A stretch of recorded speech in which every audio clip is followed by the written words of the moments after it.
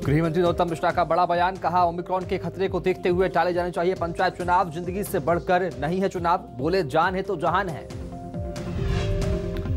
भोपाल में बीजेपी विधायक दल की बैठक, सीएम शिवराज ने बुलाई बड़ी बैठक, पंचायत चुनाव और ओबीसी आरक्षण पर होगा मंथन।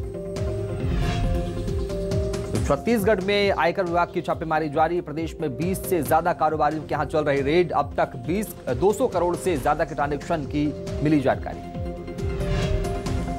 ओमिक्रॉन के खतरे को लेकर शिवराज सरकार ने बढ़ाई पाबंदियाँ रात 11 बजे से सुबह 5 बजे तक नाइट कर्फ्यू का ऐलान। प्रदेश में दो महीने बाद 24 घंटे में मिले 30 नए मामले। मध्य प्रदेश में जूडा की हड़ताल से मरीज़ बेहाल।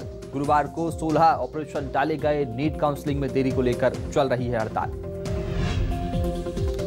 ठंड के कहर के बीच छत्तीसगढ़ के स्कूलों में आज से शीतकालीन अवकाश। 28 दिसंबर तक रहेगी छुट्टियाँ। ऑनलाइन क्लासेस रहेंगी चालू।